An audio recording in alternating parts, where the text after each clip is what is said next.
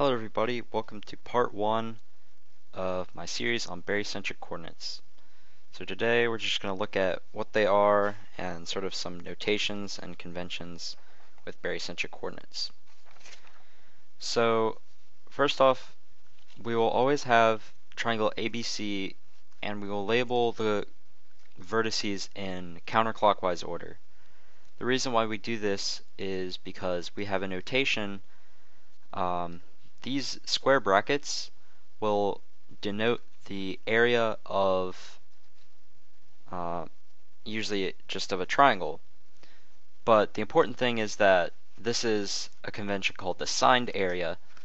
So the basically we have to have um, vertices labeled in the same order.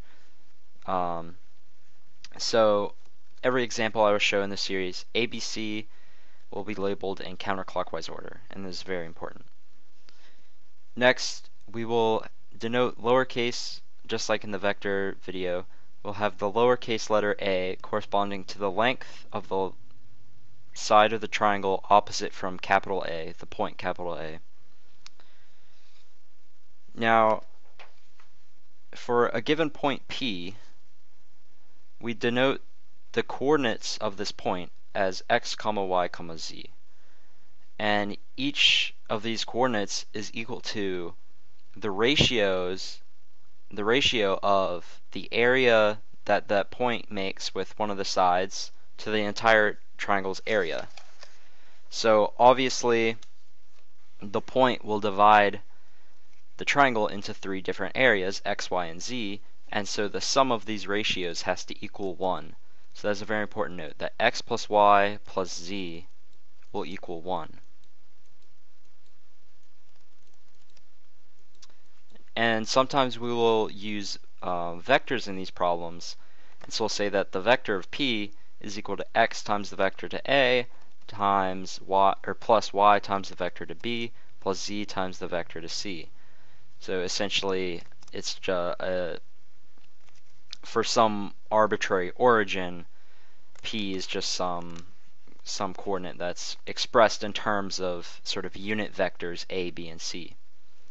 Furthermore, we define each vertex of the triangle. So let's say a.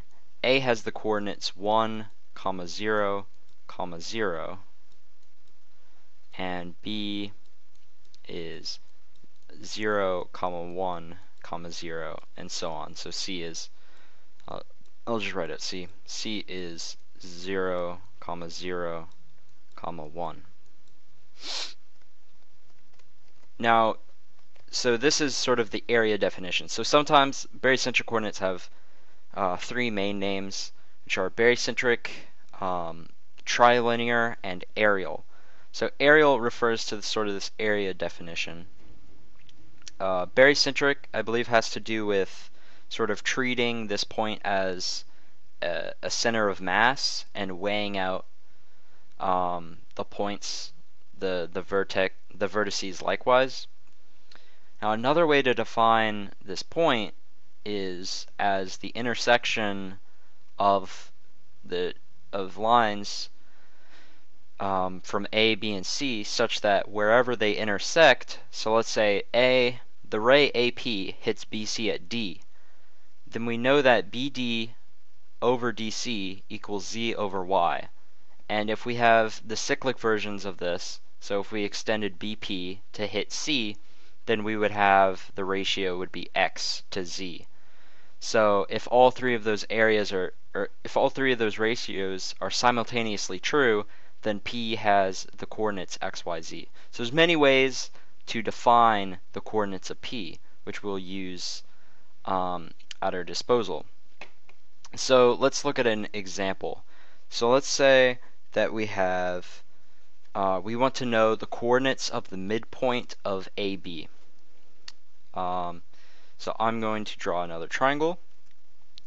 So now we see that if we draw in the midpoint, we have that these two side lengths are equal. And if we draw, if we drew an altitude, just going to dot it, then both triangle AMC and triangle BMC have the same altitude. So, and since they have equal bases, that means their triangles are, or their, their areas are equal. So we have this angle, I mean not angle, this area and this area are equal. And we see that from our convention before that PBC corresponds to the first coordinate. So uh, MBC would be the first coordinate of M. So M would be x, comma x. And since M is on the line AB, we notice that the area of triangle AMB, well that's a degenerate triangle, so its area is 0. So the coordinate here is 0. Now we know that x we know that the sum of the coordinates must be 1, so x plus x is equal to 1, which means that x is equal to 1 half. So the coordinates of the midpoint of AB is 1 half, comma 1 half, comma 0. Oops. Okay, I guess that's useful. Um, now, what about other things we can look at? When is a point, I guess, a point is inside ABC, the triangle ABC, if each area, each coordinate is positive, right? Now, if it lays on a side, then, like here, we saw if, it, if a point lays on a side, then one of the triangles that it makes will be degenerate, so it have a zero coordinate. Furthermore, if a point is outside of the triangle, let's say this point P, then the area, here we're looking at the area PCA. It is very important that you go in that order. It's counterclockwise, PCA. But here, PCA is clockwise, so we have to negate the area. So if a point is outside of the triangle,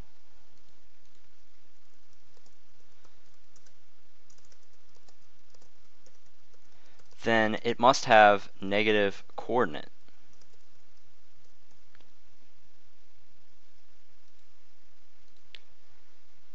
And if a point is on a side, then it has a zero coordinate, and if a point is inside, then all its coordinates are positive. So in the next video, I'll go over equations of lines and maybe more stuff. See you in the next part.